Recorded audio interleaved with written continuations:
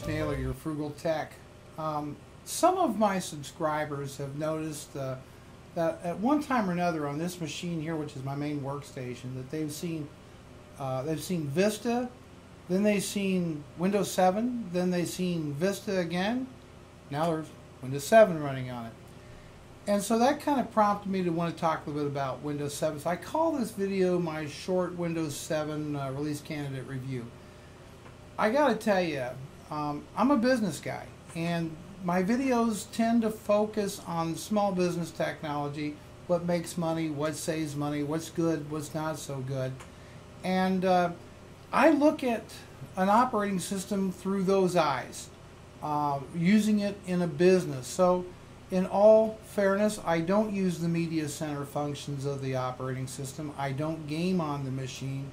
Um, I run a company, and I use uh, right now. I'm using Windows 7, the release candidate, in order to run my business, and I'm very, very comfortable with it. And uh, but there are some pros and cons to everything. So I look at the value proposition of the operating system.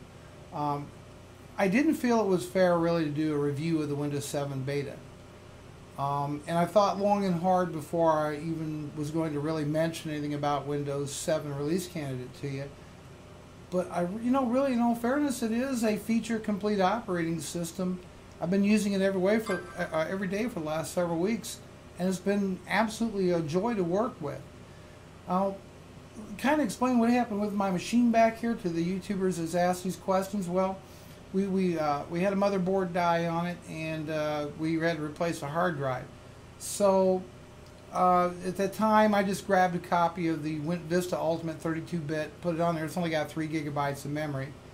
Um, and then knowing that the, the, release candidate of Windows 7 is coming out, so then we went ahead and when that was released, we installed it on this machine. So that clears up uh, that mystery.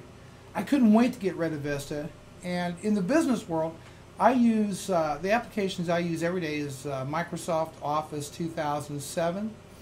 Uh, I use Microsoft Accounting Professional, uh, program, a product called Evernote, which is totally awesome note-taking application. I use Microsoft CRM. I use Quicken. Uh, uh, so I use a combination of software and do my thing. I have to have a lot of different applications running.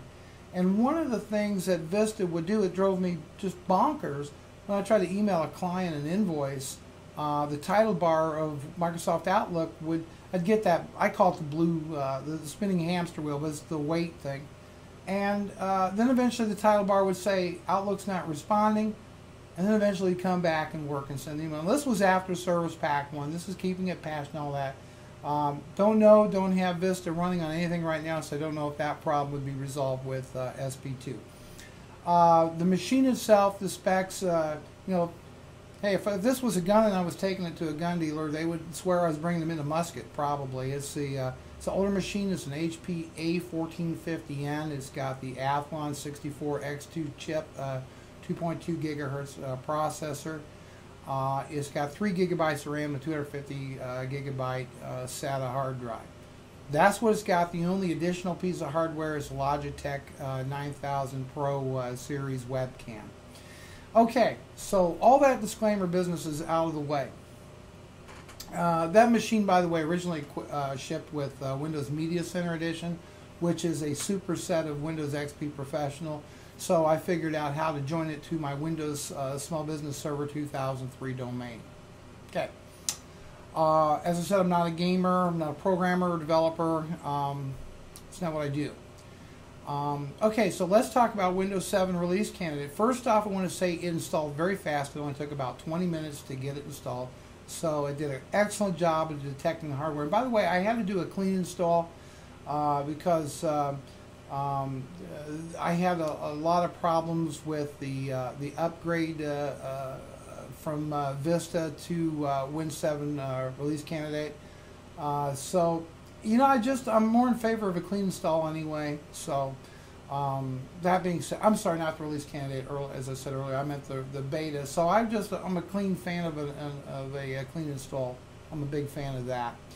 Uh, but it did a great job of detecting the hardware and it was really easy to join the domain. Um, because uh, with small business server, you just basically have to, once you establish the client computer, you just go to your uh, Internet Explorer browser, type in uh, the, the domain server and then the Connect computer, and you know it joined it right to the main, which was very very pleasant.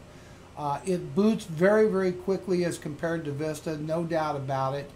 Um, also, the networking, moving, copying files, network shares, and all that seems to be more fluid, a little bit quicker, a little bit more snap to that.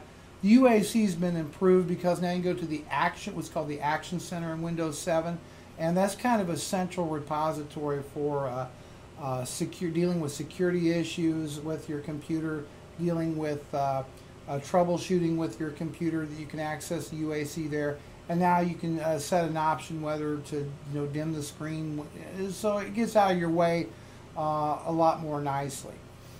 Um, really, I think one of the major improvements to me in productivity is the new Windows taskbar.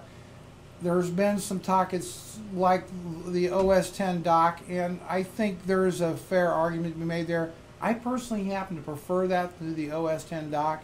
Uh, it's a lot easier to see uh, the here, right back here, the open applications running on the uh, uh on the taskbar because there, there's like a like a clear frame around that.